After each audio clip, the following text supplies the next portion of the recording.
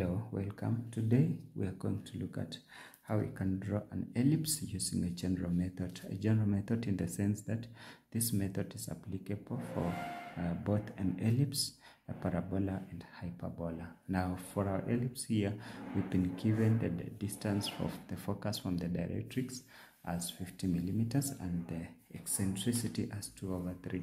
Now let me explain something uh, small on eccentricity. Eccentricity is a ratio. It marks the point uh, of vertex in relation, vertex of the ellipse in relation to the focal uh, point or the focus and the directrix. So that uh, 2 as the numerator represents the distance between the vertex to the focus and then 3 uh, the number of units or the distance between the vertex of the ellipse to the directrix. So if we have the eccentricity as you can see as it is uh, being smaller than 1 then it means it's going to be an ellipse. If it's equal to 1 then it means it's going to be a parabola. But if it's greater than 1 then the curve that will be formed will be hyperbola. Now let's start by drawing the major axis if we want to draw our ellipse. So it means we shall start by drawing our axis the major axis here. We can start our drawing from there. Once we have that we can now have our, our vertical axis. In this case it's going to give us our directrix. So we can take our t square together with our set square and then we draw our directrix maybe from there. It goes upwards. So that is the first step when we want to draw our ellipse. The next step, we are going to establish our focus on the axis and our focus is 5 millimeter 5 millimeter from the directrix uh, 5 centimeter I mean that is 50 millimeter from the directrix so we can say let our focus be there because that's where we have our 50 millimeter. Then we can call it we can call the directrix here as d d1 now once we are through with that we are going to divide our length f to the directrix and we can call this point as o to the directrix at o into five equal parts. So we have to divide this Uh, or f into 5 equal parts. Now we take your compass, the normal way of dividing a straight line, we make the 5 divisions. Let's say this is the first one, two, three, four, lastly 5 once we are through with that we can still now transfer those points so that we start by the last point to the last mark at f. We join we join this. So with edges we can now start transferring first of all a line. Then we can do the transferring. So we move this gives us the first point there. It transfers the second point transfers the third point then lastly it will transfer there now as you can see these are five divisions. This is one two three four five. To uh, with our eccentricity it means our point v should be one two and here is the point once we have the vertex we can have a line. So we're going to be drawing uh, first of all we have to draw a line through v that is equal to uh, vf we take your compass and then you set it to f. And then you can now make an arc up there. Then you draw a line through v. You can have your straight edge. You draw a line through V.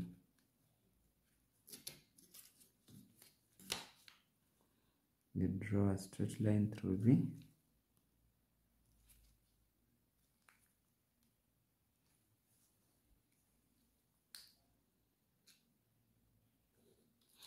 So this is the first point you can make it. Then we are going to draw lines uh, away from V, uh, vertical lines away from V, which are uh, having equal distances. We can still take this one as our interval of those lines. So we take this distance, we just continue. I'm not saying this is the distance that you'll be using, but it's just an a bit trivial. For my case, I've just taken it. But you can take 10 or 20 or 15 millimeters depending on how you want it to be. So like mine, I'm going to have vertical lines passing through those points I'm marking. So once you're through that, I can still continue a bit. Once I'm through with this, I'm going to make vertical lines. These vertical lines here will be cutting through cutting through those points I've, I've drawn or I've marked. So the first line will pass there.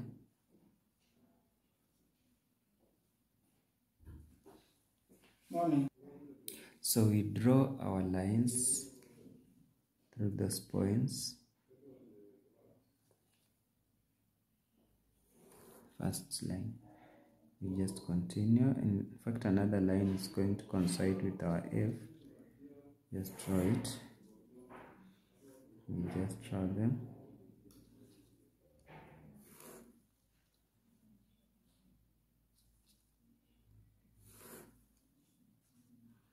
We continue dividing. We divide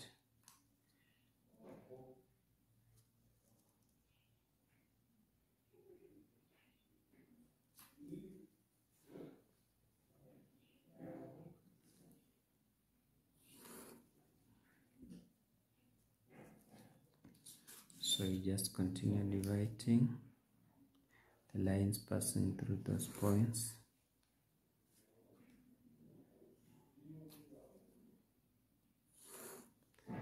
Continue dividing.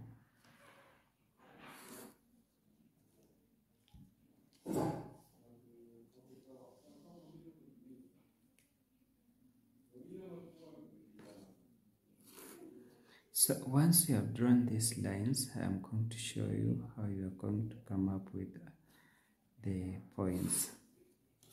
We can name these lines as uh, uh, one. Okay, before naming, we are going to draw a line passing through this point we measured VF to that particular point. So we draw a straight line passing through that point from O and that line is going to be extended so that it cuts through the vertical lines we have drawn. Starting there passing through the point now we are naming this one as 1 1 prime 2 2 prime 3 3 prime 4 4 prime 5 5 prime 6 6 prime 7 7 prime 8 8 prime 9 9 prime. Mm, 9 10 10 prime 11 11 prime.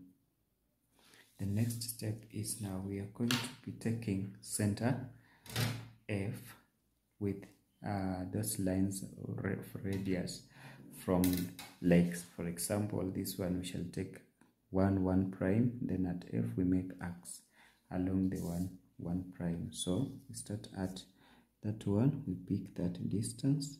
We stand with it at F and then we make an arc on that particular line. Okay. The next one is 2 2 prime. And then we stand with it at F.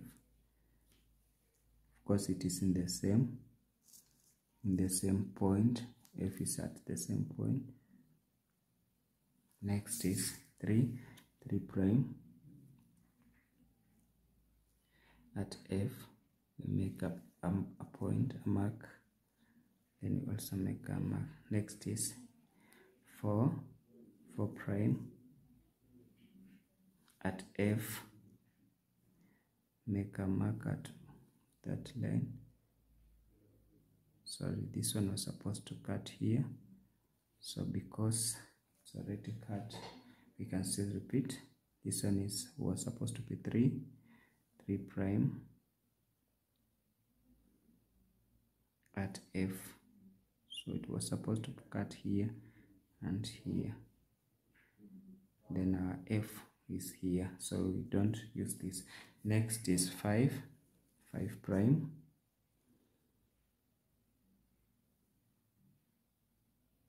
With it at f we cut on the same line of 5 5 next is 6 6 prime.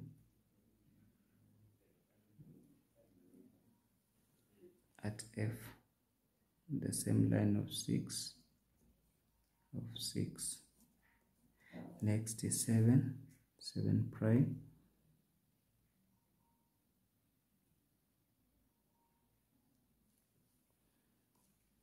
at f on the same line of 7 7 8 8 prime. At f on the same line of 8 same line of 8 9 9 prime. Same line from f of 9 of 9 then 10 10 prime. At f on the same line of 10 same line of 10 11 11 prime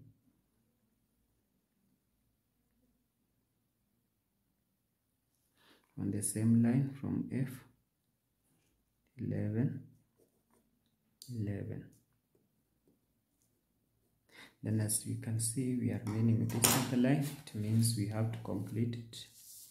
So we complete this the same way. So you have to bring this again. Then you draw that line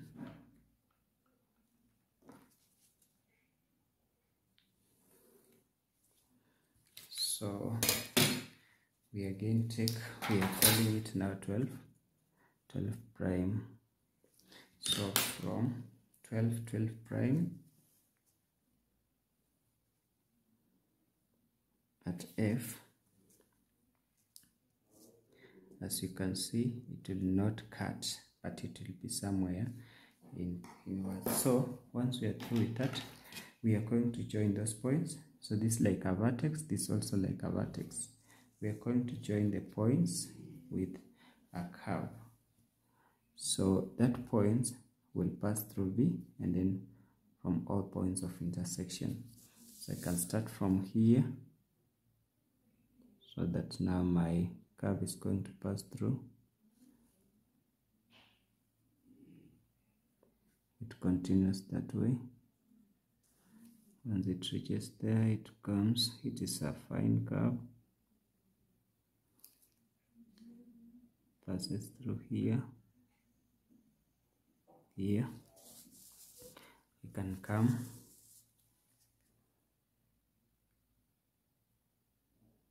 Passes through there should be continuous although mine is somehow fluctuating because I'm using a pen shall complete once we reach there have to come back to the original point.